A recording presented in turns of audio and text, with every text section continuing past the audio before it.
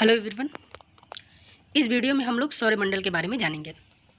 सौरमंडल सूर्य और कई ग्रहों, उपग्रहों तथा अन्य खगोलीय पिंडों का परिवार है, जिसे सौर परिवार भी कहते हैं। हमारा सूर्य सौर परिवार का मुखिया है और इसके केंद्र में स्थित है। सबसे पहले निकोलस कॉपरनिकस ने पंद्रह ईस्वी में सौर प्रणाली की खोज की। अंतर्राष्ट्रीय खगोल संघ आईएयू ने 2006 में ग्रहों के संबंध में एक नई परिभाषा दी, जिसके अनुसार अब सौरमंडल में पृथ्वी सहित कुल आठ ग्रह हैं। ये हमारा सौरमंडल है, जिसमें कि हम सूरज के साथ ग्रहों को और धूमकेतु को और एस्ट्रॉयड को देख सकते हैं।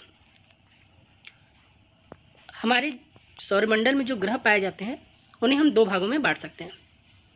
एक है आंतरिक या पार्थिव ग्रह, दूसरे हैं बाह्य या जोवियन ग्रह।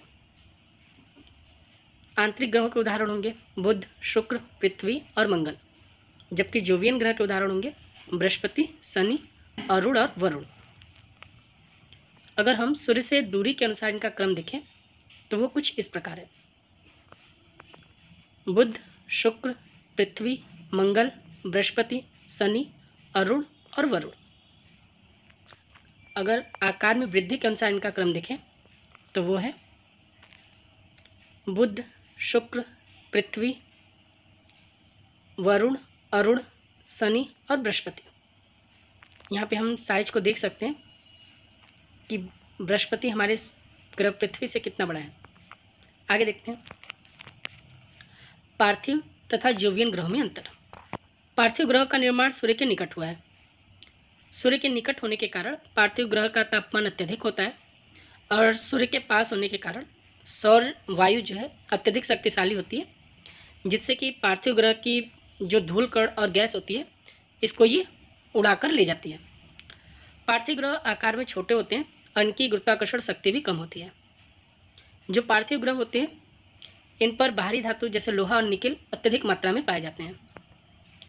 और अगर पार्थिव ग्रह की बात करें तो जितने भी ठोस ग्रह हैं, जैसे कि बुध, शुक्र, पृथ्वी और मंगल, ये सभी पार्थिव ग्रह के उदाहरण हैं। अगर जोवियन ग्रह की बात की जाए तो इनका निर्माण सूरज से बहुत ज़्यादा दूरी पर हुआ है। इसके कारण इनका तापमान पार्थिव ग्रह की तुलना में काफ़ी कम होता है और इनके ऊपर सौर वायु का प्रभाव भी कम पड़ता है, जिसके कारण यहाँ पे धूलकण और गैसों की अधिकता होती है। जोवियन ग्रह आकार में बड़े हैं, इसलिए इनकी गुरुत्वाकर्षण शक्ति भी बहुत अधिक होती है। ये जोवियन ग्रह सभी गैसीय ग्रह के उदाहरण होते हैं, जैसे कि बृहस्पति, शनि, वरुण और अरुण। एक एक करके अब ग्रहों के बारे में हम लोग देखते हैं। पहला है बुद्ध जिसे हम मरकरी कहते हैं। यह सूर्य के सबसे निकट तथा सौरमंडल का सबसे छोटा ग्रह है। यह सबसे कम समय में, यानी लगभग अट्ठासी दिनों में सूर्य की परिक्रमा को पूरा कर लेता है और अपने अक्ष पर एक चक्कर अट्ठावन दशमलव छः दिन में पूरा करता है। बुद्ध की कच्छी गति सर्वाधिक है, जो कि अड़तालीस किमी प्रति सेकंड है। बुद्ध का तापांतर भी सर्वाधिक है यहाँ पर दिन अत्यधिक गर्म, लगभग 427 डिग्री सेल्सियस तक होता है और रातें बर्फीली होती हैं, जहाँ पर कि टेम्परेचर माइनस एक डिग्री सेल्सियस होता है। बुद्ध का अपना कोई उपग्रह नहीं है और बुद्ध आकार में पृथ्वी से लगभग 18 गुना छोटा है। अगला ग्रह है शुक्र। यह पृथ्वी के सर्वाधिक निकट है और यह सूर्य और चंद्रमा के बाद तीसरा सर्वाधिक चमकीला खगोलीय पिंड है। यह आकार तथा घनत्व और व्यास में पृथ्वी के लगभग बराबर है, इसलिए इसे पृथ्वी की बहन भी कहा जाता है। शाम को पश्चिम में तथा सुबह के समय पूर्व में दिखाई देने के कारण इसे साँझ का तारा तथा भोर का तारा भी कहते हैं। शुक्र के वायुमंडल में नब्बे से पंचानवे परसेंट तक कार्बन डाइऑक्साइड होने के कारण यहाँ पर प्रेशर कुकर जैसी स्थिति होती है। यानी यहाँ का तापमान बहुत ज़्यादा होता है। यह सौरमंडल का सबसे गर्म ग्रह है और इसका औसत तापमान चार सौ बासठ डिग्री सेल्सियस रहता है। शुक्र का भी कोई उपग्रह नहीं है और यह 225 दिनों में सूर्य का एक चक्कर पूरा करता है। शुक्र अपने अक्ष पर एक चक्कर लगाने में दो दिन का समय लेता है, जिसके कारण सौरमंडल के अन्य ग्रहों की तुलना में इसका रात और दिन दोनों सर्वाधिक लंबा होता है। पृथ्वी, यह सौरमंडल का एकमात्र ग्रह है, जहाँ पर जीवन है। पानी की अधिकता के कारण इसे नीला ग्रह भी कहते हैं। सॉरी पृथ्वी पार्थिव ग्रह में सबसे बड़ा है और आकार में सौरमंडल का पांचवा सबसे बड़ा ग्रह है। पृथ्वी अपने अक्ष पर साढ़े तेईस डिग्री झुकी हुई है तथा ध्रुवों पर थोड़ी चिपटी है। पृथ्वी की इस विशेष आकृति को भूआप कहते हैं। पृथ्वी को सूर्य का एक चक्कर लगाने में एक सौर वर्ष का समय लगता है। एक सौर वर्ष में तीन सौ पैंसठ दिन, पाँच घंटे, अड़तालीस मिनट और छियालीस सेकंड होते हैं। पृथ्वी का केवल एक उपग्रह है, जिसका नाम चंद्रमा है। मंगल। यह सूर्य से दूरी के क्रम में चौथे नंबर पर आता है तथा आंतरिक ग्रहों में सबसे बाहरी ग्रह है। यह सूर्य की परिक्रमा छः दिनों में पूरा करता है और अपने अक्ष पर 25 डिग्री झुके होने के कारण लगभग 24 घंटे सैंतीस मिनट में अपने अक्ष पर एक चक्कर पूरा करता है। आयरन ऑक्साइड की अधिकता कारण यह लाल रंग का दिखाई देता है, इसलिए इसे लाल ग्रह भी कहते हैं। मंगल के वायुमंडल में पंचानवे परसेंट कार्बन डाइऑक्साइड तथा अन्य गैसों में नाइट्रोजन, आर्गन कार्बन मोनोऑक्साइड जैसे गैस मिलते हैं। मंगल के दो उपग्रह भी हैं, जिसका नाम फोबोस और डिमोस है, जिसमें डिमोस सौरमंडल का सबसे छोटा ग्रह है। सौरमंडल का सबसे ऊँचा पर्वत, निक्स ओलंपिया, और सबसे बड़ा ज्वालामुखी पर्वत, ओलंपिया मोन्स, मंगल ग्रह पर ही स्थित है। बृहस्पति। यह सौरमंडल का सबसे बड़ा और भारी ग्रह है। यह सूर्य की परिक्रमा में बारह वर्ष का समय लगाता है तथा अपने अक्ष पर नौ घंटे छप्पन मिनट में एक चक्कर लगाता है। बृहस्पति के पास सर्वाधिक सेवेंटी नाइन उपग्रह हैं, जिनमें से अधिकांश छोटे आकार के हैं। गैनीमिड कैलेस्टो, लो तथा यूरोपा बृहस्पति के कुछ बड़े उपग्रहों के नाम हैं, जिसमें गैनीमिड सौरमंडल का सबसे बड़ा उपग्रह है। लो, या जिसे आयु नाम से भी जानते हैं, सौरमंडल का सबसे ज़्यादा ज्वालामुखी वाला खगोलीय पिंड है। बृहस्पति के बड़े आकार के कारण इसे तारा सदस्य ग्रह तथा मास्टर ऑफ़ गार्ड्स भी कहा जाता है। बृहस्पति ग्रह तथा तारा दोनों के गुणों से युक्त है, क्योंकि इसके पास स्वयं की रेडियो ऊर्जा है और इसके वायुमंडल में हाइड्रोजन, हीलियम, मीथेन और अमोनिया गैस पाई जाती है। बृहस्पति ग्रह को लघु सौर तंत्र भी कहते हैं। बृहस्पति ग्रह के बारे में ज़्यादा अध्ययन करने के लिए 2011 में नासा द्वारा जूनोयान भेजा गया था। चित्र में हम लोग बृहस्पति ग्रह और उसके सबसे बड़े उपग्रह गैनीमीड को देख सकते हैं।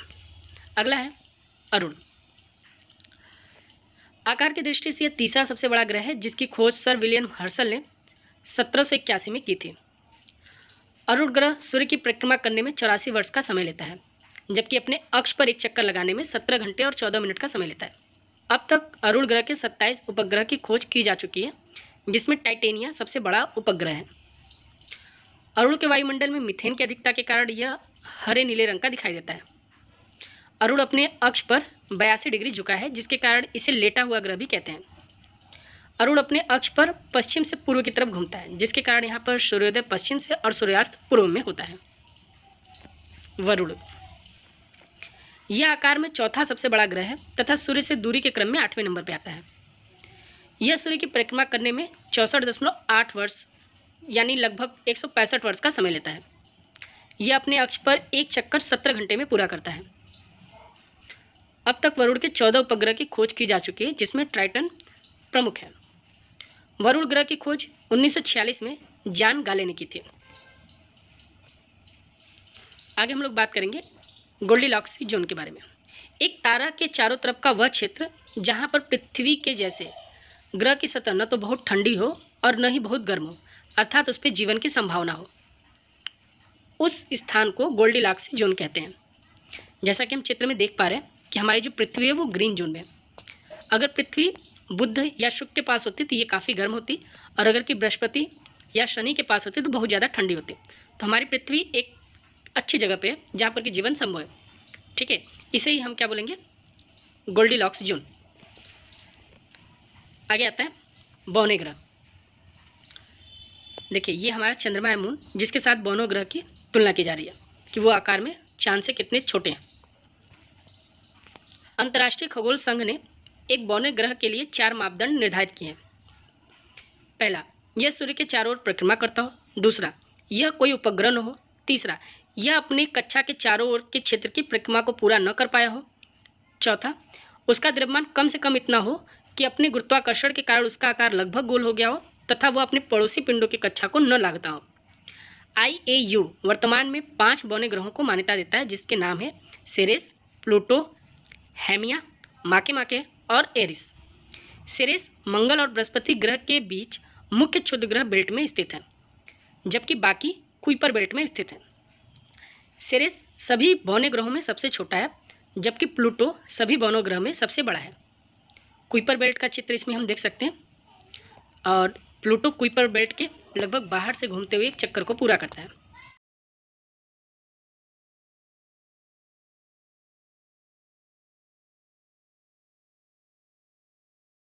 आगे हम लोग देखते हैं धूमकेतु या पुच्छल तारे के बारे में।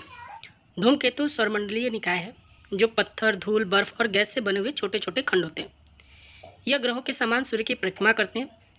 जब कोई धूमकेतु सूर्य के पास आता है तो गर्म होने के कारण इससे गर्म गैस की फुहार निकलने लगती है। तब इसे हम पुच्छल तारा कहते हैं। पुच्छल तारे की पूछ हमेशा सूरज के विपरीत दिशा में रहती है। हैली नामक पुच्छल तारा प्रत्येक छिहत्तर वर्ष में पृथ्वी से दिखाई देता है, जो कि सबसे कम समय में पृथ्वी के पास से गुजरने वाला धूमकेतु है। धूमकेतु के तीन भाग होते हैं, नाभि, कोमा और पूछ। ये धूमकेतु का चित्र है। आगे हम लोग देखते हैं। क्षुद्र ग्रह उल्लका तथा उल्लका पिंड क्या होते हैं? क्षुद्र ग्रह अंतरिक्ष में ऐसी वस्तुएँ हैं जिनका आकार धूल के कण से लेकर छोटे क्षुद्र ग्रहों तक होता है, जैसे कि अंतरिक्ष की चट्टान। इसे हम क्षुद्र ग्रह कहते हैं। जब क्षुद्र ग्रह पृथ्वी के वायुमंडल में प्रवेश करते हैं तो उन्हें उल्लका कहा जाता है।